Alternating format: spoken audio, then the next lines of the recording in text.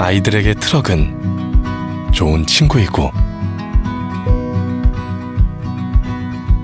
청년들에게 트럭은 새로운 출발입니다.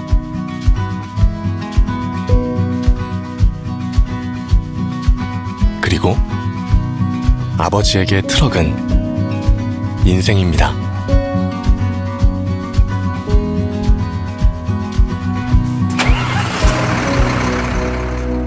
하지만 때때로 트럭은 따가운 시선과 오해의 대상이 되기도 합니다.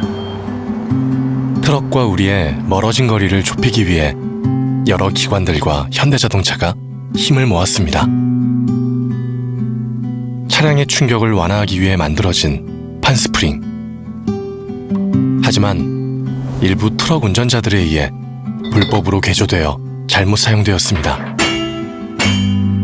이러한 불법 판스프링은 도로 위에서 많은 사고를 일으키며 다른 운전자들과 시민들의 안전을 위협하는 대상이 되었습니다. 더 이상 이러한 사고가 발생하지 않도록 불법적 제함 지지대에서 어린이 안전 지지대로 판스프링 캠페인을 시작했습니다.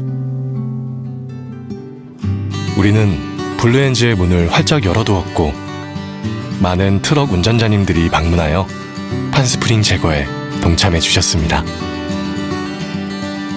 제거된 판스프링은 트럭 운전자님들의 따뜻한 마음과 함께 녹아들었습니다. 그렇게 만들어진 판스프링 울타리는 학교 앞 어린이 보호구역에 설치되었습니다. 울타리 전면에는 아이들의 손글씨로 트럭 운전자님들에게 고마움을 전달했고 트럭 운전자님들도 어린이들을 향한 마음을 울타리 안쪽에 새겼습니다.